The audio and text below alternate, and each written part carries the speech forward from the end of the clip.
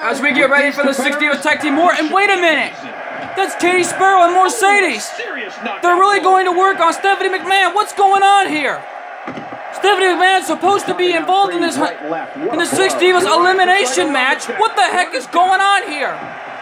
I think Katie Sparrow and Mercedes has got a big problem with Stephanie McMahon. She is near the entranceway, but what the heck is going on here? As Mercedes and Katie Sparrow are working together here, trying to take out McMahon to prevent her from getting to ringside. But folks, right now we're supposed to be getting to the Six Divas contest. Now folks, I'll keep you posted on this brawl as it still continues. But folks, She's trapped. right now McMahon's trying to fight for her life here.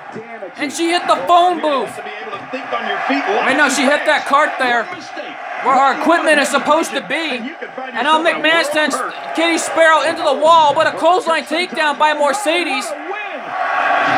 Stephanie McMahon is out. There's no way she can compete tonight.